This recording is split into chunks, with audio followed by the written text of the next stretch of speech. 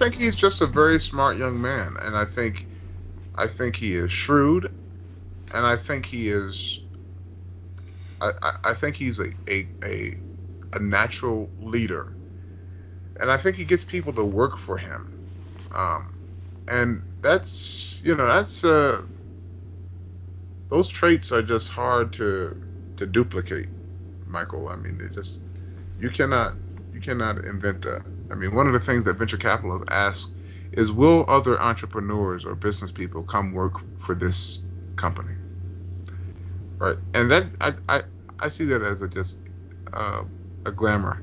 It, it's it's almost like now, if you notice, Michael, in the last four years, the name Mark Zuckerberg has become synonymous with Steve Jobs and Bill Gates. Like Mark Zuckerberg is is that is on that level. Yeah. And four years ago, if somebody told you the name Mark Zuckerberg, you would have thought that that was somebody from another world. Now it's like, how do you not know who Mark Zuckerberg is? It's, it's, it's pretty incredible. And I, I mean, you just cannot deny that.